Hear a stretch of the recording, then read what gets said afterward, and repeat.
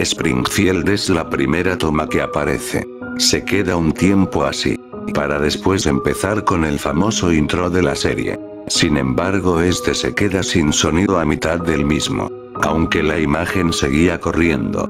El sonido regresa a los segundos. Pero no es el del intro. Solo son lamentos de un hombre. Parece la voz de Homero. El título de aquel episodio. Una familia arruinada. Homero entra en primer plano en la planta nuclear. Come rosquillas mientras descuida su trabajo. Como siempre. Saliendo de trabajar se dirige a su casa. Llega con su familia. Todos cenan juntos mientras platican como cualquier familia de sus días. Tanto en la escuela como en el trabajo. Bart menciona que tendrá una presentación de su escuela. Por lo que desea que sus padres estén ahí con él. March y Homero dicen que ahí estarán.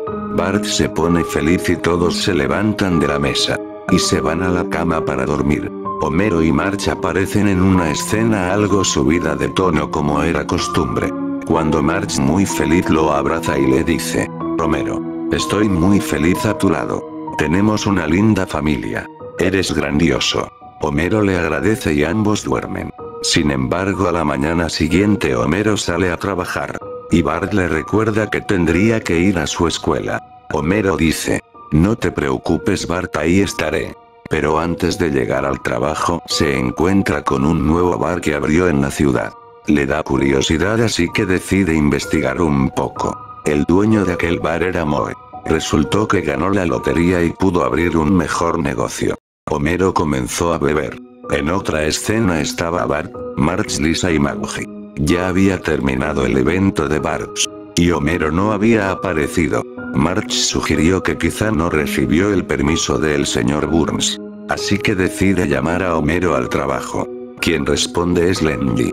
Diciendo que Homero no fue a trabajar. Marge preocupada pensó que a Homero le había pasado algo. Pero en el camino encuentra a Homero ebrio en medio de una calle.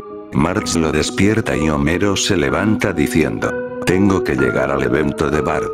Pero Marge molesta le dice, Homero, no puedo creer que te importara más tu cerveza que el evento de tu hijo. Homero entonces comenzó a sentirse mal, pues se dejó llevar por las cervezas.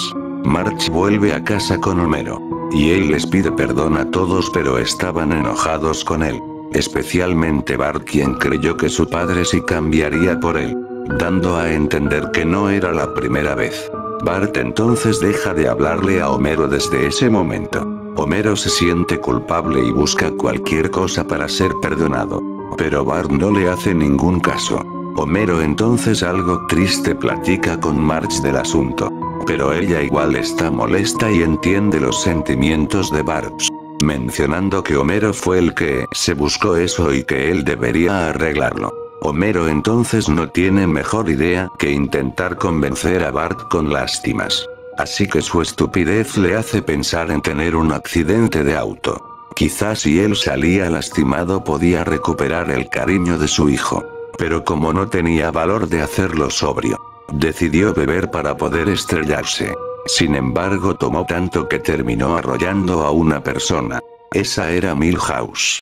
Fue trasladado al hospital pero terminó muriendo. Homero fue arrestado porque se dieron cuenta que estaba en estado de ebriedad. Evidentemente cuando fueron a verlo Bart estaba demasiado molesto con él. Tanto que no dudó en agredirlo. Bart fue detenido por algunos oficiales y por March. Homero no se molestó. Al contrario. Solo pidió disculpas diciendo que no sabía lo que había hecho. Aún con esas March pudo conseguir un trato y pagar la fianza de Homero. Este salió libre y regresó a casa con su familia. Pero ya en casa Bart le dice que lo odia y que no desea hablar con él nunca más. Homero deprimido se va a dormir.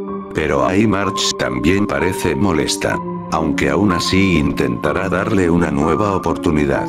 Sin embargo al día siguiente en el trabajo el señor Burns se entera de lo que pasó con Homero. Así que Homero es despedido de su empleo. Llegando a casa informa la noticia a March. Quien se enfada con él pues todo era su culpa. Y como Homero es el sostén económico de la familia. Entonces estarían en problemas. Homero dice que buscará un nuevo empleo y sale de casa para intentar conseguirlo. Pasa días enteros tratando de tener un empleo nuevo. Pero con la noticia de Milhouse es casi imposible que alguien le dé trabajo. Eso hasta que en algún momento, mientras caminaba por la calle es encontrado por el gran Tony, el líder de la mafia, quien ha escuchado lo que sucede con Homero y decide darle trabajo. Homero se dedicará a llevar los cuerpos de los que ellos se hagan cargo a lugares como ríos y bosques. Homero en la desesperación de encontrar trabajo decide aceptar. Pero pide como condición de que nada de eso sea mencionado a su familia. Tony y sus hombres aceptan y Homero comienza a trabajar con ellos. Como ya lleva dinero a casa Marge le pregunta de qué trabaja. Homero dice que solo se dedica a llevar paquetes de una paquetería especial. Por momentos todo se relaja. Pero de tanto tiempo que lleva sin tomar Homero pasa un día cerca de la taberna de Moe. Barney y Lenny lo ven y le llaman. Él no quiere ir para evitar más problemas. Pero terminan por convencerlo y Homero entra a la taberna. Y comienza a tomar. Toma tanto que otra vez llega ebrio a casa. Eso molesta mucho a su familia, quienes le dicen que no cambiará. Homero al estar ebrio se molesta y dice, Hago todo por esta familia y ni siquiera me agradecen. No recibo apoyo. Solo me critican. Váyanse al infierno. Homero se va en su auto y no saben de él por algunos días. Esto comenzó a preocupar a March y a Lisa. Menos a Barbs. Que desde hace tiempo ya ni siquiera toma en cuenta a Homero. Comienzan a buscarlo pero Homero no aparecía. En otras tomas sí se veía que Homero vivía en un hotel fuera de la ciudad. Aún trabajaba para el Gran Tony. Y se ganó tanta confianza que fue ascendiendo hasta ser uno de sus principales miembros. En una de las ocasiones Lisa encuentra a su padre mientras iba a dejar un encargo del Gran Tony. Él la ve y Lisa va corriendo para abrazarlo ya que estaban preocupadas por él. Homero la abraza y le dice que está bien. Lisa le dice que regrese a casa pero Homero se niega. Homero dice que ha tenido muchos problemas con ellos y que de saber a qué se dedica lo odiarían más. Lisa le pregunta qué es lo que hace para vivir. Homero no le dice nada pero le dice que ya no tiene tiempo de hablar y Homero sigue su camino. Lisa lo sigue y es cuando se entera de lo que hace Homero. Lisa no duda en ir donde está su padre, quien se sorprende de que Lisa lo haya seguido. Lisa le reclama muy molesta que por qué se dedica a eso. A lo que Homero le dice. Que no tiene que darle explicaciones y Homero se marcha.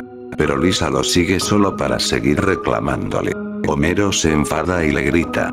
Diciendo que eso no le debe importar al final ellos jamás lo apoyaron. Homero saca dinero y se lo avienta a Lisa y dice. Toma. Son miles de dólares. Para que dejen de estarme molestando. Luego les enviaré más. Pero ya déjenme en paz. Lisa regresa llorando a casa a contarle todo a March. Por un lado ella se alegra de saber que Homero está bien. Pero por otro evidentemente está molesta por lo que hizo. Esa misma noche alguien toca la puerta de la casa Simpson. March abre y hombres armados entran a su casa apuntándole a March. Van por los niños incluyendo a Maggie y los meten a una camioneta. Van hasta un acantilado donde estaba el gran Tony junto con Homero. Los Simpson estaban amarrados y Homero les dice, hola familia. Si es que se les puede decir así. Me di cuenta todo este tiempo que es lo que quiero para mí. Gano dinero. Y nadie me está molestando. Me embriago cada día que yo quiero y cumplo con mi trabajo. Ahora solo me queda un solo trabajo. Mi prueba definitiva. Debo matarlos a ustedes. Marx le ruega a Homero que no les haga daño, mientras que sus hijos le ruegan igual. Pero Homero dice, no te preocupes March. Jamás los olvidaré. Pero esta familia ya estaba perdida desde hace tiempo. Solo cumplo con mi deber. Homero mata a los cuatro. Sin remordimientos. Ante la sorpresa de los mafiosos. Quienes lo aplauden y Homero solo guarda los cuerpos y los lleva. Homero se pone a llorar en medio de su auto. Comienza a tomar muchas cervezas en el camino. Y termina chocando con un camión en la carretera. El auto se incendia. Y Homero muere.